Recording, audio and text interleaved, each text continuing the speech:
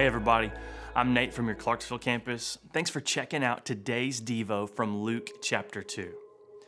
Do you remember what Christmas was like as a kid? For some, the season is a painful reminder, but what I remember the most is the anticipation of the moment. That's what Christmas should represent.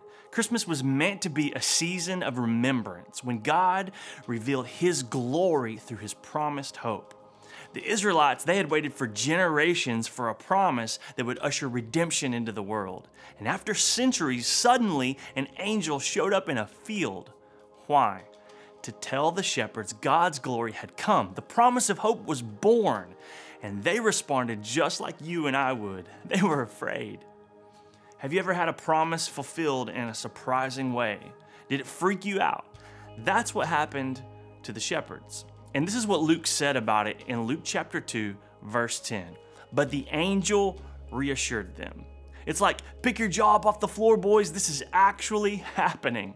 Don't be afraid, the angel said. I bring you good news that will bring great joy to all people. The good news was the promise fulfilled. Jesus, Emmanuel, God with us. Like fear was out, joy was in, and God did it. His promised redemption had come through the birth of His glory, peace, and favor, the perfect gift. Now, gifts are my love language. I love getting gifts. And I like a good surprise sometimes, but there's nothing better, absolutely nothing better than the anticipation of expectation. It's the promise of knowing something great is coming.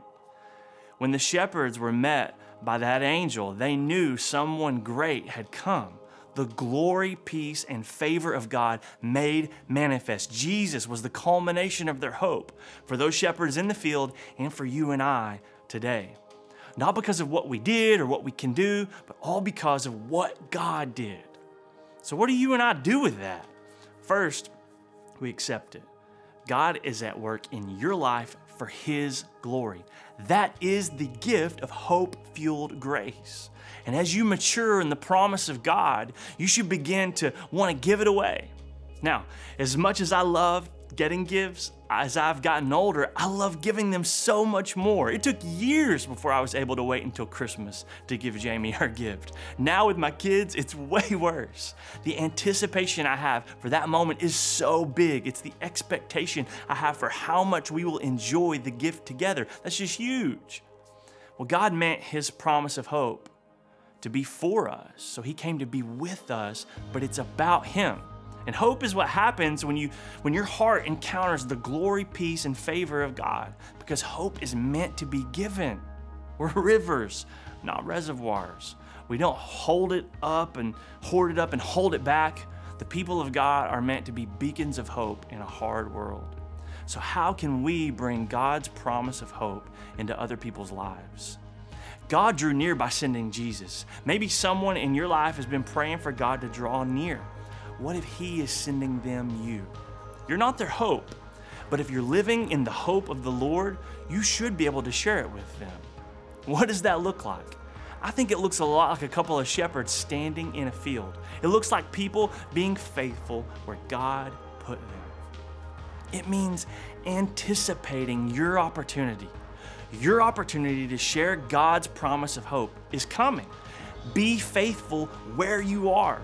Don't be afraid, be expecting. And when the anticipated opportunity arrives, what do you do? Keep being faithful. Do what you've been doing already, but do it for someone else.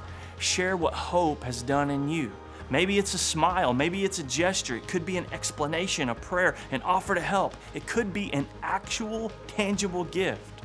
Small things make big moves when hope is at work. And anytime you bring out what God has done in your life, you pull back the curtain on His promise. You point people toward hope. You share in the good news, the joy of Jesus, the glory, peace, and favor of God, the promise of hope. Amen.